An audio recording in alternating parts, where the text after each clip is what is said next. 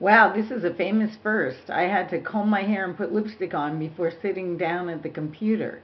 But this is my first day of my video blog. And I'm just trying to figure out right now what's worth saying and what isn't on video. I recorded this with my iChat software and something called Ecamm, which works with iChat on the Intel-based Mac to record your iChat audio and video conferences. And then I'm going to upload it to the internet with a program called Sevenload that's German that has a really nice platform that I read about this morning. And then I guess take it back down and embed it in my blog as a test.